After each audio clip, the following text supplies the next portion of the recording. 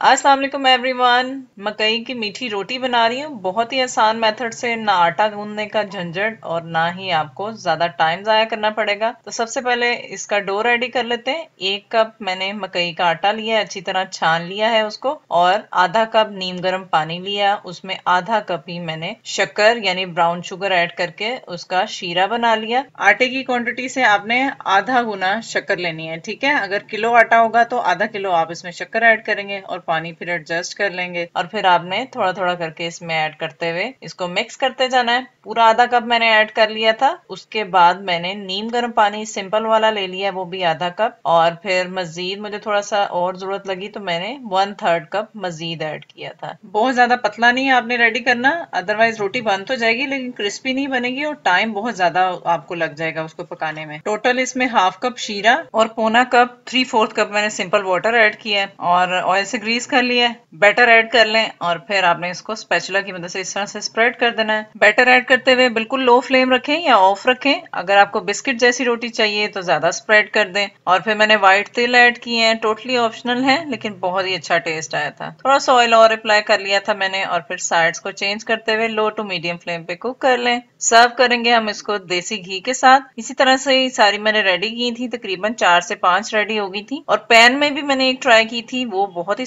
Smooth बनी थी तो आप उसमें भी ट्राई कर सकते हैं। रेसिपी अच्छी लगे तो लाइक शेयर और कमेंट कर दें।